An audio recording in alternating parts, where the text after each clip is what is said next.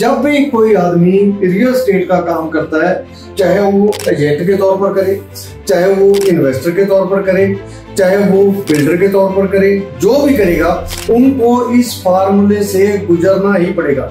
एक certain amount पे आना है कि ये अमाउंट हमारी बन गई है कि इस रेट में हमें ये प्रॉपर्टी पड़ेगी कंपैरिजन ऑफ़ रेट क्या है, ये बहुत इंपॉर्टेंट है यार कंपैरिजन ऑफ़ रेट उसके एक कॉलोनी में रेट बीस हज़ार रुपये गज का है, और एक में पंद्रह हज़ार रुपये गज है। हमें कंपैरिजन करना है कि ये पंद्रह हज़ार रुपये गज वाला रेट है, वो पंद्रह हज़ार में क्यों है? बताया उसको कि ये तेरा ढाई सौ गज का प्लॉट है और तुम इसके जो बयालीस लाख रुपए मांग रहे हो, इतने में और प्लॉट मिलते हैं। यदि हम इतने में प्लॉट लेके इसके ऊपर पैसे लगाएँ तो भी पच्चीस, छब्बीस लाख रुपए में प्रॉपर्टी बनती है। सीसीएम के बिना रियल स्टेट के बारे में सोचना भी बेकार।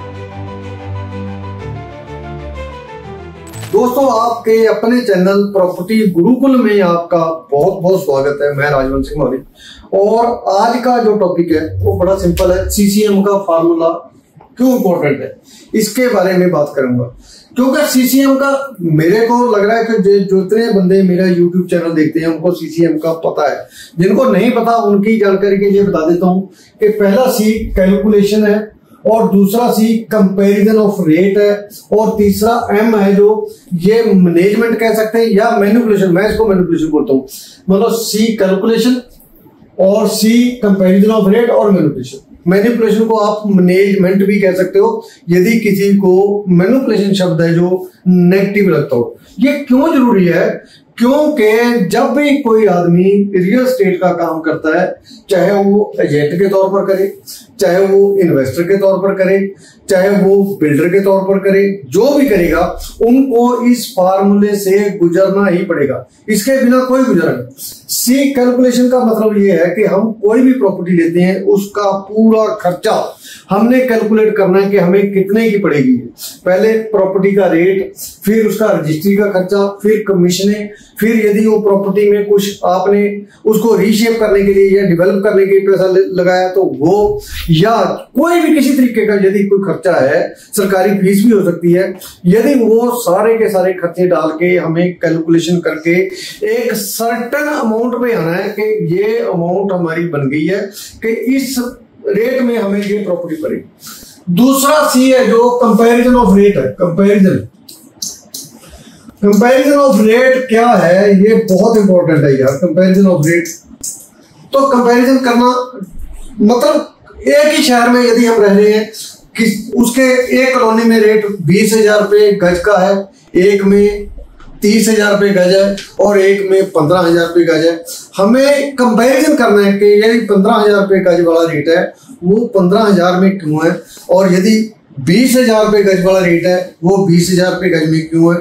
यदि तीस हज़ार रुपये गज में रेट है तो तीस हज़ार वाला क्यों है? इसका हमें कैसे पता लगेगा कि ये जो तीस हज़ार मांग रहा है, उसमें प्रॉपर सड़कें बनी होंगी प्रॉपर पानी का इंतज़ाम होगा सीवरेज का इंतज़ाम होगा ड्रेनेज सिस्टम होगा पार्कें होंगी, और जो सहूलतें सारी होंगी, और डेवलप हो चुकी होंगी। तो उसका रेट तीस हज़ार हो सकता है।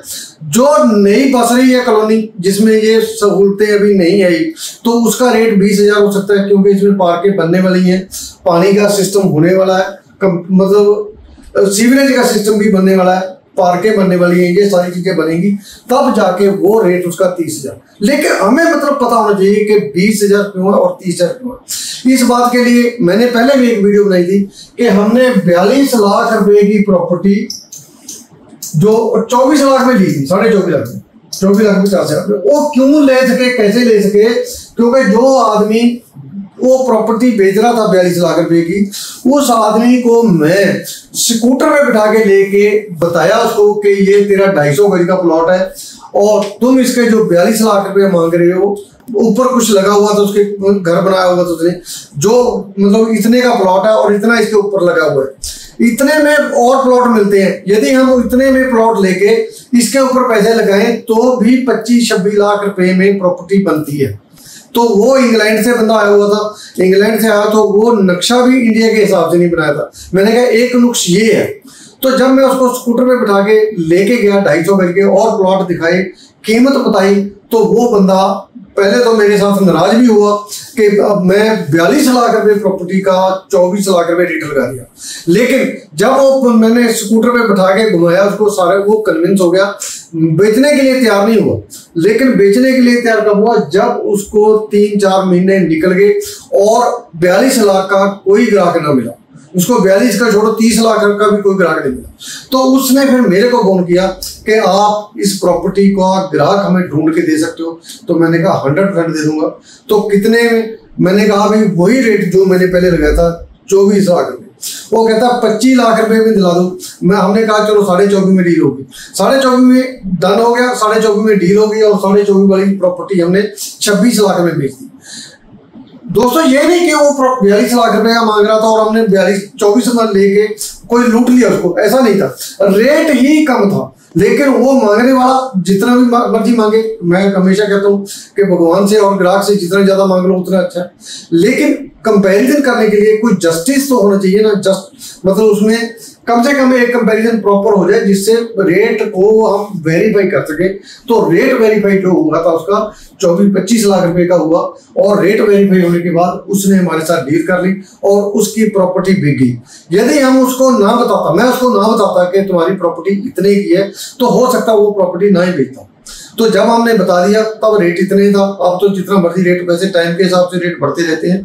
तो उसका फ़र्क नहीं पड़ता, लेकिन हमें करंट रेट का ज़रूर पता होना मैंने कंपैरिजन करके दिखाया तो वो बंदा कन्विंस हो गया। वो कन्विंस हो गया तो हमने साढ़े चौबीस लाख की प्रॉपर्टी ली और साढ़े छब्बीस लाख की बेची। उन दिनों में हमने दो लाख रुपया कमाया था और वो दो लाख रुपया काफ़ी बड़ी मतलब अच्छी अच्छी अमाउंट मानी जाती है। तब के मतलब आज से बीस पच्चीस साल पहले, दो लाख रुपया काफ़ी बढ़िया प्रॉपर्टी तो हमने कंपैरिजन ना किया होता तो ये चीज़ पॉसिबल नहीं थी। आपको भी कंपैरिजन करना है। मैनुपुलेशन है अब मैनुपुलेशन क्या है कि हमने प्रॉपर्टी को किसी भी तरीके से मैनेज करना जो प्रॉपर्टी हमारे पास आ गई है, बेचने के लिए आई है, हमने सारे उसमें अपना जो स्किल है, वो सारा लगाना है बेचने के लिए। ये नहीं कि सामने वाले के साथ धोखा करना, धोखा नहीं करना पॉजिटिव वे में हमें सारे के सारे स्किल लगाने सारे के सारे स्किल लगा देंगे स्किल को ही हम मैनिपुलेशन बोल देंगे मैनेजमेंट बोल देंगे। यदि हम मैनेजमेंट करने में कामयाब हुए उसको मैनिपुलेट करने में कामयाब हो गए तो हमारी प्रॉपर्टी बिक जाएगी और हमें पैसा मिल जाएगा।